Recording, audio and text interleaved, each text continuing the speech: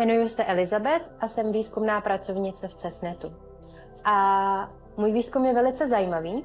Já v podstatě stavím zdroj provázaných částic. Konkrétně ty částice jsou elementární částice světla, které se nazývají fotony. Centrem takového zdroje je velice zajímavý krystal, do kterého vstupuje jeden foton a vystupují z něj fotony dva.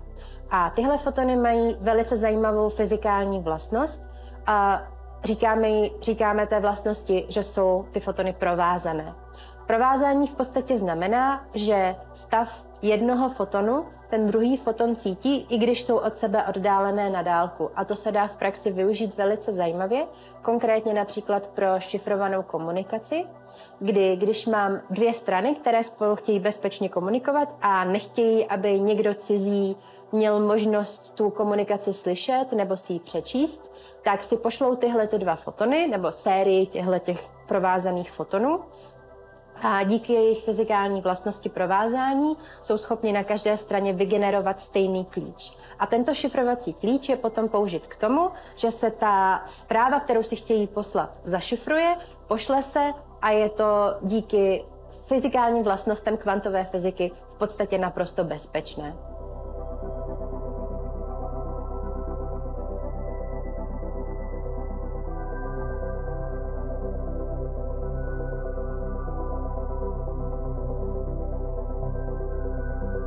Od kdy se zabývám vědou?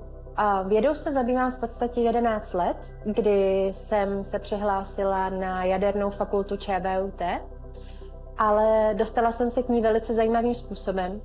A to konkrétně někdy v 10 nebo 11 letech, kdy jsem pod stromeček dostala krásnou barevnou encyklopedii plnou snímků z Hubbleova teleskopu. A veškeré informace, které tam byly obsaženy, a, a stejně tak jako ta krása těch snímků teď mě vlastně postupně dostala k fyzice.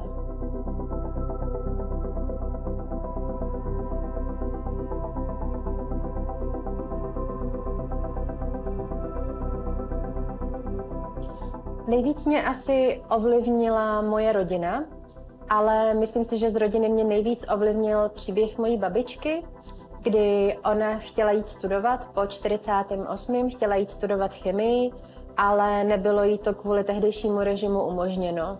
A v podstatě její příběh mě velice inspiroval k tomu, abych uh, si šla za svým snem, když mám ty možnosti a abych, uh, abych i za ní v podstatě si splnila něco, co ona si bohužel prostě splnit nemohla.